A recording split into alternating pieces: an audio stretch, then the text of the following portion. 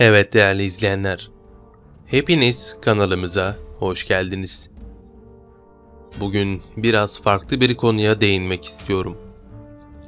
Bugün sizlere dünya basını tarafından fazlaca dile getirilmiş bir olaydan bahsedeceğim.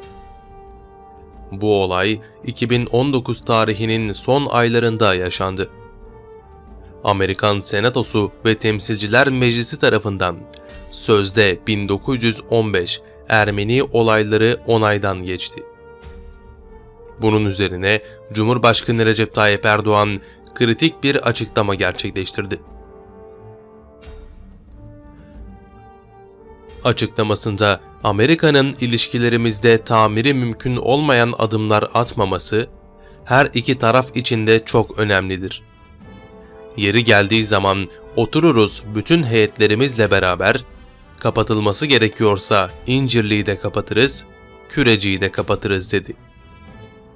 Bu açıklamadan sonra dünya basını çalkalandı ve Erdoğan'ın sözleri her yerde haber oldu. Dönemin Amerikan Başkanı Donald Trump, Erdoğan'ın bu sözlerinin ardından sözde Ermeni olaylarını tanımaktan vazgeçti. Cumhurbaşkanı Recep Tayyip Erdoğan sözde Ermeni olayları ile ilgili şöyle bir açıklamada yapmıştı. Sözde Ermeni olayları konusunda bunları bütün yetkililere anlattığım zaman bazıları bakıyorum ki konuya hakim değiller. Biz 1 milyonun üzerindeki belgeyi şu anda silahlı kuvvetlerimizin elinde olan belgeleri açıyoruz.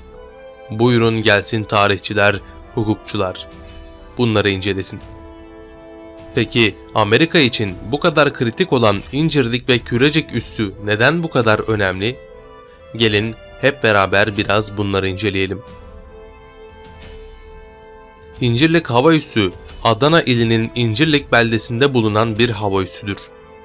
Adana şehir merkezinin 8 kilometre doğusunda ve Akdeniz'e 56 kilometre mesafededir.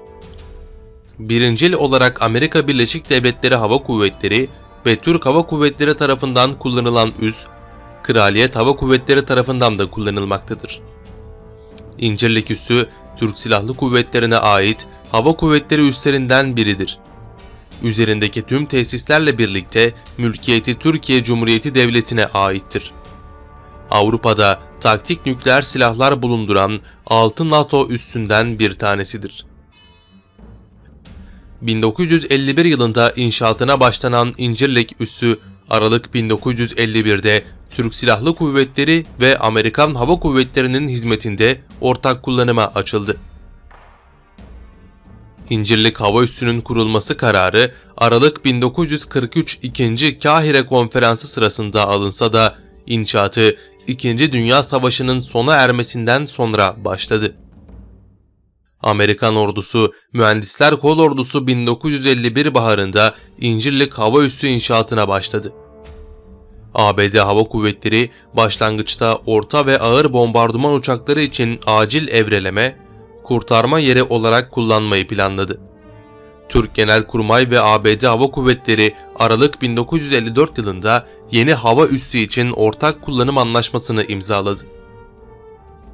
21 Şubat 1955 tarihinde hava üssünün resmi adı olarak Adana Hava Üssü seçildi. Hava üssünün konut birimi olarak 7216. Hava Üssü filosuydu. Bu hava üssü 28 Şubat 1958 tarihinde İncirlik Hava Üssü adını almıştır. 15 Eylül 1997'de Kuzey Irak'a düzenlenen operasyon Kuzey izlemede 39. Hava Kanat Komutanlığındaki mülkleri desteklemek ve komuta etmek için kullanılır hale getirildiği belirtildi.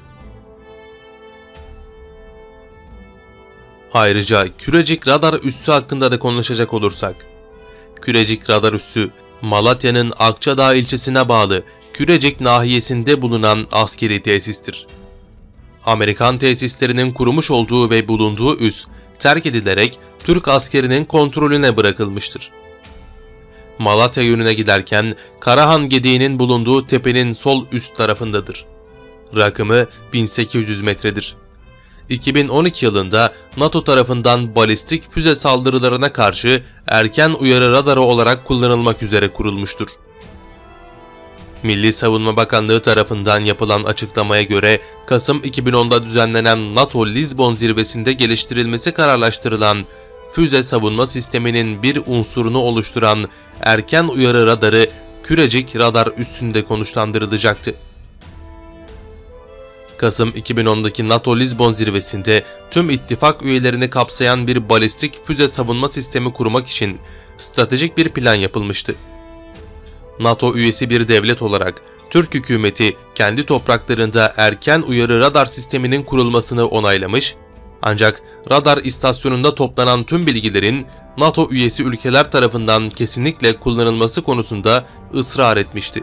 Eylül 2011'de kesin şartlar konusunda bir anlaşma imzaladıktan sonra Türkiye ve ABD yetkilileri Malatya ilinin Akçadağ ilçesine bağlı Kürecik bucağı yakınlarında uygun bir yer belirledi. 1960'larda alan Sovyetler Birliği hava sahasının gözetimi için bir radar üssüne ev sahipliği yapmıştı. Kürecik, Malatya'nın 59 kilometre batısında yer almaktadır. Radar istasyonu da 2085 metre yükseklikte Çat Tepe üzerinde bulunmaktadır. Kürecik sakinleri ve bölgedeki diğer pek çok kişi radar alanının duyurulmasının hemen ardından muhalefetlerini ve protestolarını dile getirdi. Eylül 2011'de İran, Türkiye'nin güneydoğusundaki erken uyarı radarının kurulması konusunda Türkiye'yi eleştirmiş ve olası bir savaş durumunda İsrail'i İran füze saldırılarından korumaya hizmet edeceği endişesini dile getirmişti. Radar sisteminin kurulumu Amerikan askeri personeli tarafından gerçekleştirildi. Radar üssünün kurulması Şubat 2012'de tamamlandı. Radar istasyonunun kontrolü Avrupa aşamalı adaptif yaklaşımı çerçevesinde NATO komutanlığına devredildi diyelim ve videomuzu sonlandıralım. Evet değerli izleyenler, bir videomuzun daha sonuna geldik. Bu tarz videolarımızın devamının gelmesini istiyorsanız kanalımıza abone olmayı, videomuzu beğenmeyi ve görüşlerinizi yorumlarda bizlerle paylaşmayı unutmayın. Bir sonraki videomuzda görüşmek üzere, hoşçakalın.